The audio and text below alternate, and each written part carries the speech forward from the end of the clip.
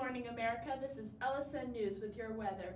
This cold front here will be moving from the northwest to the southeast, and you can be expecting light showers and colder temperatures in the next following days.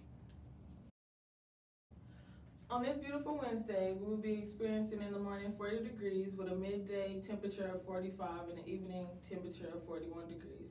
All in total, the temperature will be 45 degrees with a 10 to 20 miles per hour winds, 20 to 30 percent cloudiness with 10 percent precipitation. 0% cloudiness and 0% precipitation. Moving on to Friday, you can expect 40 degree weather, 15 mile per hour wind, 0% cloudiness, and 0% precipitation. Moving on to Saturday, a little bit colder, you can expect 35 degree weather, 20 mile per hour wind, 0% cloudiness, and 0% precipitation.